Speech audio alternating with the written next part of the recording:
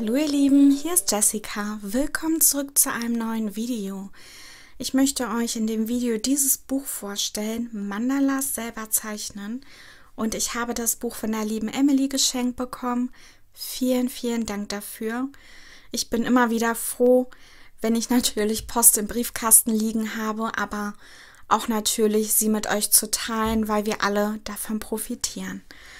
Und als ich das Buch angeschaut habe, ich dachte im ersten Moment, es ist ein Mandala-Malbuch, aber es ist Mandalas selber zeichnen.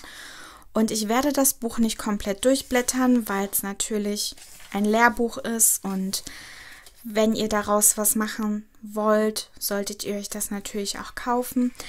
Aber hier wird alles Mögliche erklärt von ja, Buntstiften, wie man Mandalas ausmalen kann, welche Techniken es gibt, über Beispiele wie Gelstifte, Aquarell, welches Papier zum Beispiel gut ist.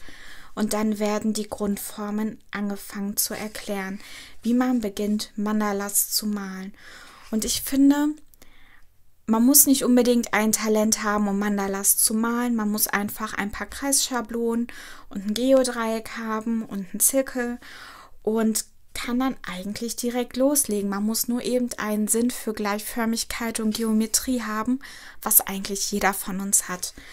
Jeder merkt, ob etwas gleichmäßig und gut verteilt ist und ja, es ist echt interessant, das zu sehen und es wird hier einfach alles erklärt und dann eben auch die Möglichkeit gegeben, dass man unter Vorgaben Sachen selber einzeichnen kann. Also man muss noch nicht mal eigenes Papier dafür besitzen quasi oder eben Zirkel- und Kreisschablon. Man hat hier sehr, sehr viele Vorgaben direkt im Buch, wo man eben loslegen kann und auch kleine Details üben kann. Da werden super viele Beispiele gegeben. Ein bisschen erinnert mich das nicht nur an Mandalas, sondern an Zentangle heißen die, glaube ich. Das ist ja auch diese freiere Malform. Also das ist auch eine andere Form zu entspannen, um nicht nur auszumalen, sondern vielleicht um auch mal selber zu malen und seine artistische Ader zu entdecken.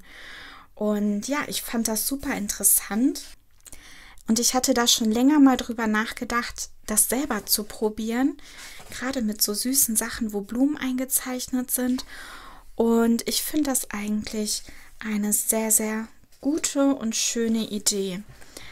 Also, das ist nicht so das typische Malbuch, das ich mal vorstelle, sondern ja, einfach mal eine Idee oder vielleicht ein kreativer Geschenktipp, wenn ihr jemanden kennt, der eben sowas gerne macht oder einfach ja, kreativ veranlagt ist und gerne Sachen ausprobiert. Ja, dann hoffe ich, ich habe euch ein bisschen Input geben können, mal was Neues auszuprobieren. Und ich hoffe, dass ich einen Link Sendalas.